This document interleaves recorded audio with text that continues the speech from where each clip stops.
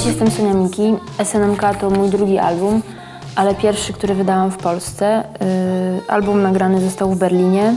Ja gram na basie, śpiewam i na syntezatorach gram również. Yy, na bębnach zagrał Łukasz Lach. Na płycie znajduje się 14 piosenek. Yy, wszystkie z wyjątkiem ósemki to piosenki mojego autorstwa muzycznie i tekstowo.